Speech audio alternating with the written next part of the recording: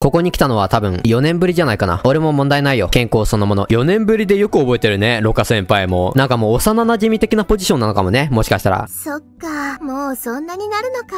ずいぶん大きくなったね、麻婆。あ、まだババ臭いのこの人。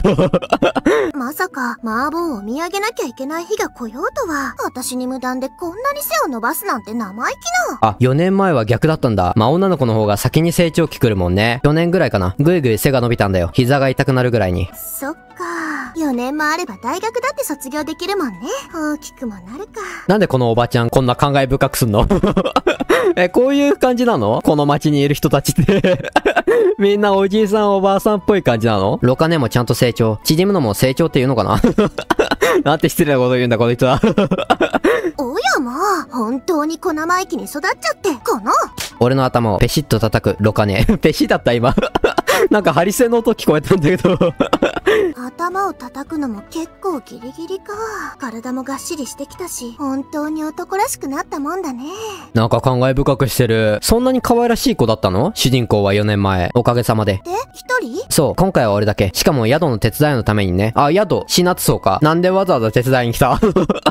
人手不足？まあ、観光業ってどこも人手不足って聞いたことあるけど。マサオミ、あんたおじいちゃんのところに行ってきなさい。唐突だな。宮古でいいのかな？お母さんは。は？いきなりなんだよ。おじいちゃんが経営してる旅館、春や夏、正月なんかは繁忙期なのは知ってるでしょ？なるほど。じゃあ今は春か夏か正月なのか。まだわかんねえな見てる感じだと。季節感が。ああ、死なつそうだっけ？また宿の手伝いに来てほしいんだって。また。ああ、なるほどね。じゃあ前回も宿の手伝いに行ったって感じなのか？4年前。行ってらっしゃい。お土産は気にしなくていいから。お前に向けて行ってきなさいってさっき言ってたろうが、おかんが。息子が鳥頭で、母さん悲しいわ。なんで俺なんだ？そういう時はいつも母さんが手伝いに行ってたじゃないか。今年はダメなの。何その薬首みたいな あれは結構バカになんないからね。俺も骨盤日々入れたし。お父さんと旅行する予定をもう入れちゃったの。ヨーロッパに一週間ちょっと。知らねえよ連れてけよ、息子。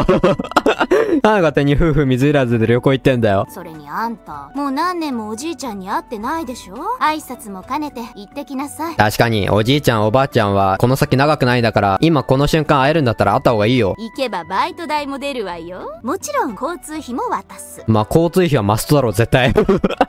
2時間半もかけた交通費なんてバカになんねんだから、絶対出せよ。手伝いに行かないなら、旅行中のあんたの食費とかは自腹でよろしく。えー、1週間の食費か。きついな、それは。汚、それは汚いだろ。大人は汚いんだよ、みんな。綺麗な大人なんていねえんだよ。汚くなってようやく一人前なんだから。汚くない大人がいると思ってんの？これ言う母親嫌なんだけど 息子に社会勉強させんな。それ真顔で言ういい関係性なんだね、親子。親だからこそ、子供に真実を教えてるんでしょ？それが世の中ってもんよ。いいから行きなさい。もう何年挨拶してないと思ってんの ?4 年ですけど何年挨拶してないかは把握してますけど子供の頃からお世話になってたんだから、一度ぐらいは手伝いをしてきなさい。あ、じゃあやっぱロカネートも幼馴染なんだね。俺みたいな素人が手伝いに行っても迷惑かけるだけだろ。かたくなに行きたくない まあ確かにそれは100リアル。あんたみたいな素人をお客の前に出すわけないでしょうが。ああ、なるほど。確かに旅館とかのお仕事って、表で見てる分にはなんかゆったりとした動作だし、楽そうだなって思うけど、めちゃくちゃ裏方忙しいもんね。花咲くいろはでちょっと知ったわ。草刈り、お風呂掃除、ゴミ捨て、皿洗い、裏方の仕事もたんまりあるわよ。もう家の手伝いと変わんねえな、これ。春休みもずっと家にこもってゴロゴロしてるだけでしょうが。いいから行ってきなさい。お、春休み。今は春ってことかい。ナイスおかん。チャンネル登録。最後までご視聴いただきありがとうございました。よかったら高評価、コメント、チャンネル登録お願いいたします。それではまた次回の動画で。バイバーイ